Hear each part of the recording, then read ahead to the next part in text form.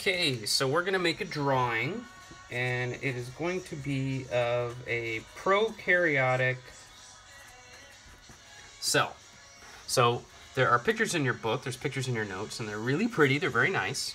And um, if you can draw those, then hey, I, I'm, I'm jealous. Um, but a lot of us can't, including myself. And so we're gonna draw a prokaryotic cell with all of the parts that you would find inside of one. And what helps with this is it simplifies the drawings. The drawings in the book, even though they're really nice, there's so much going on that sometimes it can be hard to kind of simplify what is there. And so with our picture of our prokaryotic cell, usually anytime you draw a cell, it probably starts out looking something like this. We're going to draw the outside of the cell. And so in a prokaryotic cell, you've actually got a couple different layers that are on the outside. There's one really thick layer that is out here. And I'm not going to draw another layer, but this is actually two objects. And so what's going on first is the cell membrane. All cells have got a cell membrane, and it doesn't matter if you are talking about a eukaryotic cell, a prokaryotic cell, archaea, plant, animal, whatever. All cells have to have a cell membrane because that's what makes them a cell. Outside of the cell membrane is where you're going to find the cell wall.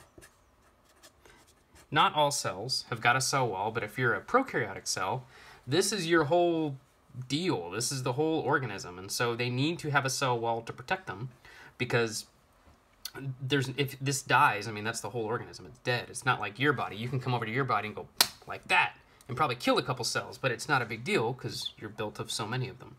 So this prokaryotic cell's got a cell wall on the outside. It's got a cell membrane. Towards the inside, there is one circular chromosome, that circular chromosome is all squiggled up, and that's because it's being used.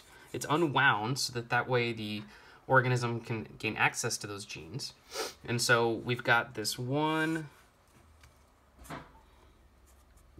circular chromosome.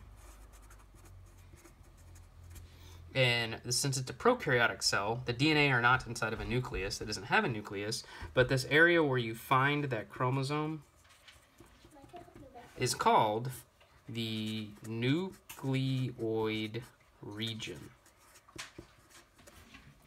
And so we've got a nucleoid region. Inside of there is the chromosome, cell membrane, and cell wall. This area that is to the outside is definitely not empty. It's extremely full of things, but it doesn't have any major organelles inside of it because it is a prokaryotic cell. And so this is the cytoplasm of that cell. And so this is the liquid interior where you're going to find enzymes and, and key metabolic reactions occurring. All throughout that cytoplasm are these little dots. They're all over the place. There's gajillions of them.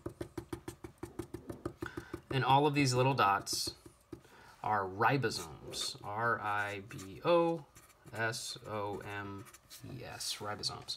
And so there's ribosomes all over the place inside of the cytoplasm. and so I just picked one and, and labeled it. So because we have such a thick exterior that's going to protect this cell, these two things together are oftentimes called the capsule. They have a special name just because they are so thick and massive and tough, um, and so we call them the capsule outside of the cell that needs to be able to move around. And so most bacteria, they're going to either just kind of float with the breeze. They're not going to have any way to move. But if they do have a way to move, it's going to be with these two whip-like whip-like structures, and those are called flagella. And so our prokaryotic cell has got flagella on the outside. The final thing that we're going to draw is something called the sex pili and they're all over the place. They're these huge columns that come out, and they're going to go in every direction. It's going to make your drawing all of a sudden look really ugly. But they stick out in every direction, and bacteria have them everywhere. And their function is to just kind of like stick out into space so that one day, hopefully, they can make contact with another bacterial cell. And so that might seem like unnecessary. Why do you need to do this? You've got flagella. Like, why does it need to do this? But what's going on is that if you're a bacterium, you're super, super small. Bacteria are tiny. If your cells are the size of the school, a bacteria would be the size of you, just for scale. So bacteria are these itsy bitsy tiny little organisms. And so if you have, you know, a couple million bacteria on the head of a pin, it might seem like, oh, well, all those bacteria, they're really squished together on the head of the pin. But that's only because we're thinking about it at our scale. From the perspective of the bacterium, the head of that pin is an enormous place. And for them, life is very lonely. Even though they might, you know, spend their entire lifespan within an area of space smaller than the tip of this marker, for them it will seem like a massive amount of area. And so it's unlikely that they're actually going to bump into another bacterial cell. And so they have these things called sex pili that stick out into space and they're hoping that they can make contact with another bacterial cell. If they do, then that cell, so here's let's imagine this is another sex pili from a different cell. It'll make contact with the one from over here and these aren't actually sticks, they're more like tubes. And so if they actually make contact, DNA is going to travel from the cytoplasm into this guy and go over to that other bacterial cell. And then DNA is going to come from that bacterial cell over here into the cytoplasm. And they're going to exchange DNA. And if they're exchanging DNA, exchanging genetic information, that's sex. And so they're going to be able to have sex that way.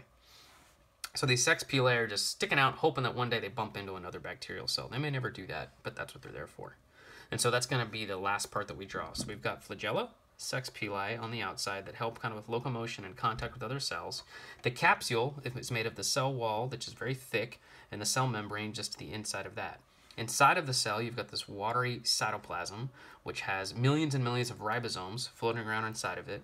And within a particular area, the nucleoid region, is where you're going to find that one single circular chromosome that contains all of the genetic information for this bacterial cell.